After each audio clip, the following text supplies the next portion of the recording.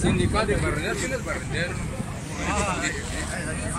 Bueno, ya lo dijiste.